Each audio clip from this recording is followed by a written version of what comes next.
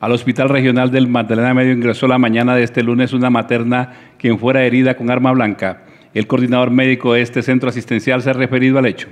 Bueno, es una mujer embarazada de 39 semanas de, gestación que es traída por bomberos voluntarios con una herida por arma blanca a nivel del hipocondrio derecho.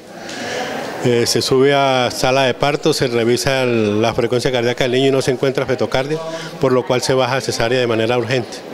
La criatura en gestación murió al ser alcanzada por el arma que cortó el cordón umbilical.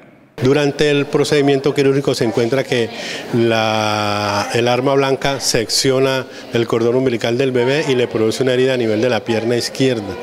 Este bebé fallece por falta de alimentación y de circulación fetal.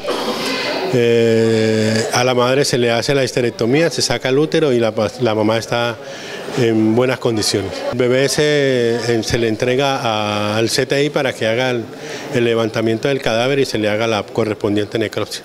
La madre herida se encuentra fuera de peligro, según ha informado el coordinador médico de esta institución.